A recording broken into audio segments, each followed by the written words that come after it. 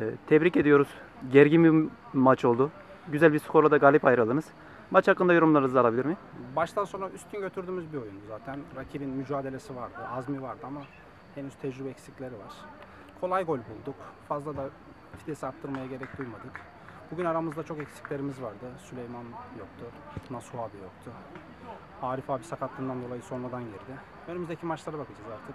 Sezonu sakatsız belasız bitirip inşallah playofflarda her zaman olduğu gibi yine finalde oynayacağız. Teşekkür ederiz. Biz teşekkür ederiz. İyi akşamlar. İyi akşamlar.